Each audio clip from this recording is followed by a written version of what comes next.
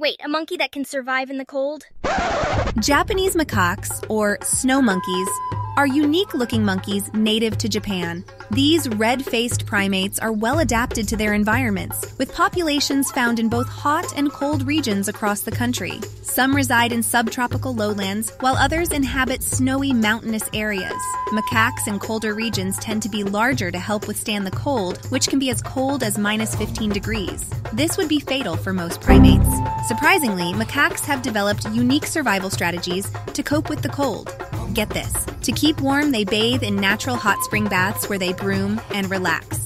On top of that, they gather in tightly knit groups to share body heat. These omnivores enjoy consuming fruits, plants, flowers, leaves, and seeds. During winter, when vegetation is scarce, they depend on insects, crabs, and eggs for survival. Comment down below on what animal I should do next.